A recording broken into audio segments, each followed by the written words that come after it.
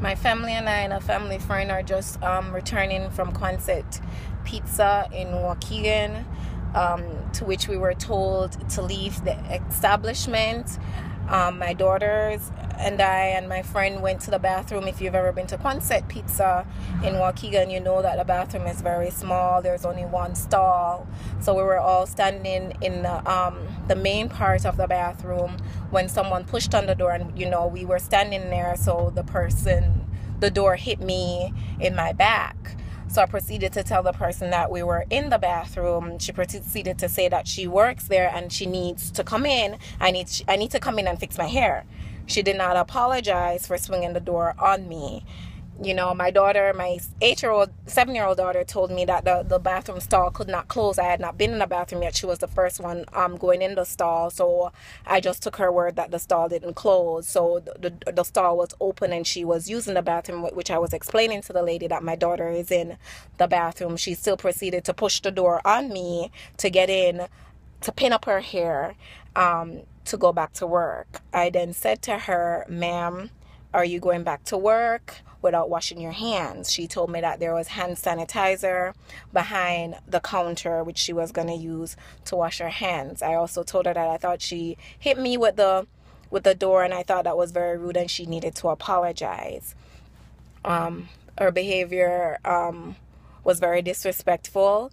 So, you know, I came out of the bathroom after she walked out. When I walked out, I saw her telling um, the other people, the other workers, um, about the incident. She then walked to the back of the restaurant. Um, I asked someone else that worked there to speak to a supervisor.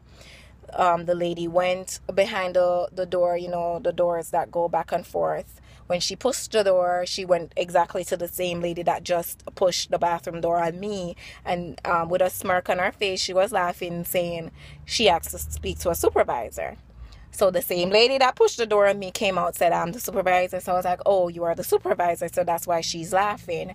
I said, "Well, is there a manager?" She said, "No, there's no manager. I'm the supervisor. I'm the manager." So I proceeded to say to her, "You know, I thought that was very rude that you pushed the door on me. We're all in the bathroom. My daughter said the door couldn't close, so you know, you walked in on my daughter using the bathroom."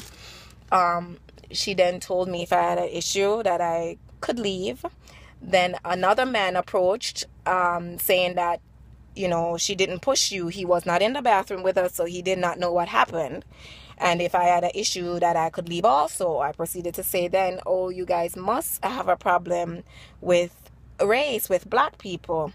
He said, Why you're pulling the race card? I said, I, I have no issues with any form of race because my husband is white, my children are biracial children.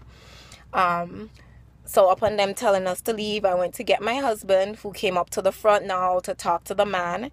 He proceeded to call me a colored. This is 2014. I have never been called a colored before. So, that alone told me that this man is a racist man and the people that work at the, that establishment are racist because nobody came to our defense with the whole situation. One lady came out of the bathroom and said, you know, you shouldn't use that word. She was the only person in the restaurant. None of the other workers, nobody else said anything. They told us to leave. I've never been to a restaurant where there was an issue and a manager or someone didn't come and say, I'm sorry, how can we fix it? They were like, leave. And the fact that I was called a colored in 2014.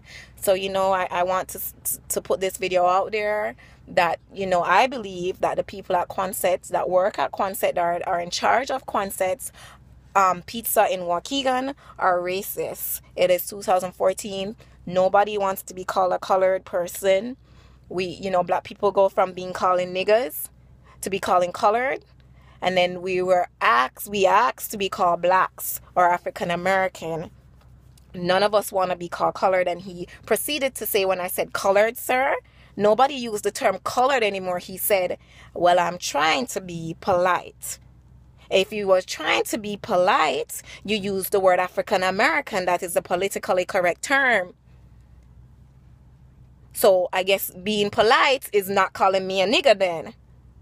I am I'm truly very upset that in this day and age my children had to be exposed to that. And I want to put this out there and I hope you guys like and share this video. And if you live here in, if you live in Zion, if you live in Waukegan, if you live in Winter in Winthrop Harbor or in Beach Park, and if you are any former person, black, white, Hispanic, whatever you are, that you would not visit that establishment that is clearly racist when somebody is using the term colored in 2014. I, I just cannot believe it even to this moment. And that someone is going to come into the bathroom whether they mess with the hair and then they go in the bathroom stall and going to tell you that they're going to use the hand sanitizer to wash their hands and that they have soap and water in uh, uh behind the counter in bottles in hand sanitizer bottles. So then the food that they're giving you isn't even clean